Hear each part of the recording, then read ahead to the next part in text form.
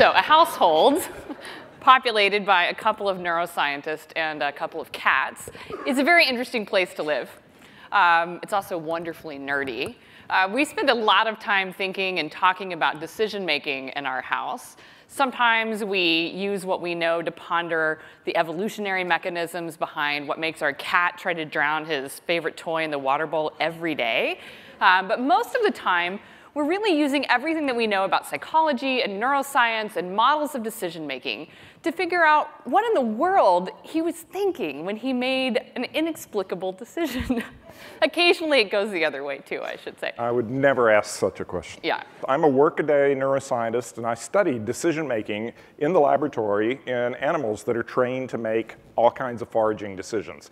And in the course of years of study like this, I've become deeply aware that animals' decisions and behavior are profoundly shaped by what I will call bottom-up forces. Uh, deep basic brain things like uh, thirst and hunger and sex uh, and anxiety and fear and hormonal cues. And of course, as I've stayed around the Stanford faculty for three decades, uh, I've become aware that the animals in this room and on the Stanford faculty are, are driven by many of these same bottom-up forces, including many uh, cultural and cognitive biases. And I bring a little bit of a different perspective since I work with humans all day, and most of the humans I work with are pretty goal-driven. So when we create courses for professionals about things like the future of food or about the science of decision making, all of us on the team have to keep a goal in mind. We have to be planning for the future. Um, we have to adapt to change that we don't anticipate. And it's especially important that we understand our own cognitive biases and balance for those so that we make sure we have the best content and the most representative content in our courses. So these are all top-down influences, this capacity to plan and adapt and um, change over time and be aware of biases. And to achieve the top-down goals we have, we have to overcome a lot of the things that Bill has talked about. So these are really the two poles of our evening discussions. Um, are we really free to decide? Can we really choose to pursue top-down goals? Or are we really driven by these bottom-up brain mechanisms over which we just kind of sprinkle our own narrative about free will? Um, so we take different sides in these debates sometimes. So Bill, give us your best example of bottom-up influences really driving human decision-making. Okay, so I will go to the story of Charles Whitman. Those of you who are about my age probably recognize this guy. He was the first of the modern plague of mass shooters. And in 1966, he climbed to the top of the tower at the center of the UT Austin campus.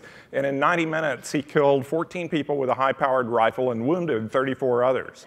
And of course, you know, we can't get over the shock of these things and we wonder, you know, how can this happen? How, how, how do these things actually happen? What was going on in that guy's mind?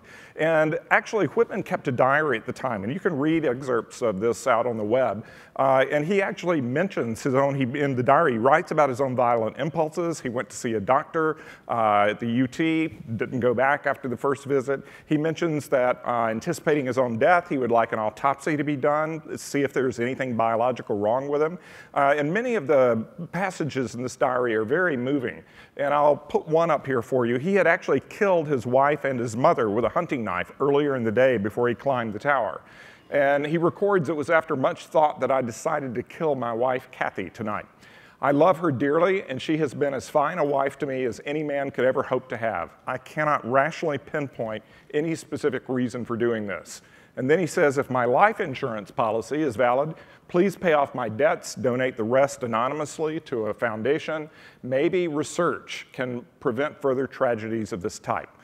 So uh, I think Whitman was probably onto something. He clearly sensed that he was out of control. Uh, he wanted this autopsy, and in fact, an autopsy was done. And at the autopsy, people found a tumor. Okay, the doctors found a tumor deep in the middle of the brain near the conjunction of three structures called the thalamus, the hypothalamus, and the amygdala. These are all structures that are known to be involved in control of emotional behavior and regulation. Did that tumor cause his behavior? We will never know the answer to that. But at least to me, it's very suggestive, and it presents uh, a, a, powerful case that these sorts of deep brain mechanisms uh, may control our behavior even when we're not aware of it doing so. So when I see Whitman's writings, I see something a little different. Whitman is saying it was after much thought that I decided to kill my wife. This sounds like he's kind of goal directed. He says I cannot rationally pinpoint a reason for doing it, but he's thinking rationally. Furthermore, he's showing evidence of long-term thinking and planning. He says, I know that um, my life is going to end, my insurance is going to come into play, and so I want it to be used to pay off my debts and to go to research. So when I look at all of this, I don't see someone who's not aware of what's going on in his brain. I see something who, someone who was very aware of what was happening in his own head. Yeah, so he's clearly aware, no contest there. But just because you're aware doesn't mean you're in control. And that's an important point that we have to, have to keep in mind. And certainly Whitman's writings don't give the flavor of someone who feels like he's free to choose in these situations. Okay, so I grant you that I think the bottom-up influences were very real in Whitman, probably due to this remarkable brain tumor.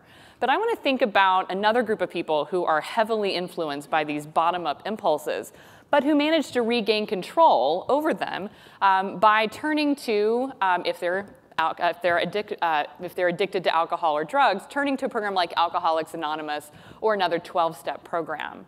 So, um, you know, in addiction, reward systems really run amok. Um, it's like pouring gasoline on the fire of that, that, those drives and those impulses that are coming from deep in our brains. And you can think about this just for a moment in your own reward system and how hard it is to not dip into something like this. Um, for us, it's french fries. For you, it might be chocolate cake or ice cream, something like this, but this is what really gets us. Um, but you know, for people who are addicted to drugs and alcohol, those pleasure-seeking drives that we all have come to dominate their decision-making. It uh, can affect people's abilities to work, to care for themselves or their children, um, and of course, as many of us know very painfully, it can really destroy lives. So I think that taking top-down control over those really strong impulses is something that's a very courageous step. And it can be successful, as we know through programs like AA, especially when you've got that social support that reinforces a goal and instills the confidence that that goal of sobriety can be achieved. So I agree. And AA and programs like it are really great exemplars of the fact that people can take top-down control over bottom-up, really severe bottom-up impulses. But AA is a really good example for other reasons too. Uh, it turns out that about 40% of the people who start a 12-step program drop out within the first year. And I think that's an important piece of data. What it suggests is that different individuals may have different capacities for top-down versus top-down control over the impulses. And maybe there's actually a range of capacities here. Great point. And of course, the classic experiment on that was done at Stanford. Um, it's the famous Stanford marshmallow test, as many of you are aware. Um, so in this test, um, in 1970, the original experiment, uh, Walter Mischel and Ebbe Ebbesen brought over three to five-year-old kids from Stanford's Bing Nursery School to the lab. They invited them in one at a time and sat them down in a, in a room with no distractions, just a table and a chair, and said, here's a fluffy, tasty marshmallow. You can eat this marshmallow now, or you can wait a few minutes while I've left the room, and if you can wait until I come back, I'll give you two fluffy, tasty marshmallows. Um, so then, of course, the, having explained the rules, the experimenter leaves, turns on the video cameras, and then comes back a few minutes later uh, to see if the kids were really able to delay gratification with that kind of top-down control. Yeah, so this is a great experiment. And you know, of all the experiments in psychology, it's been re replicated many times over the years. Uh, and we're going to show you 30 seconds of video here of kids actually participating and see which one you identify with.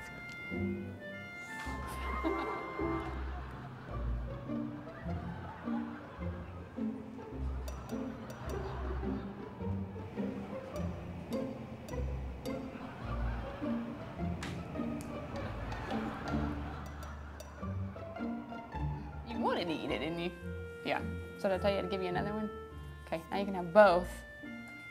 You need them.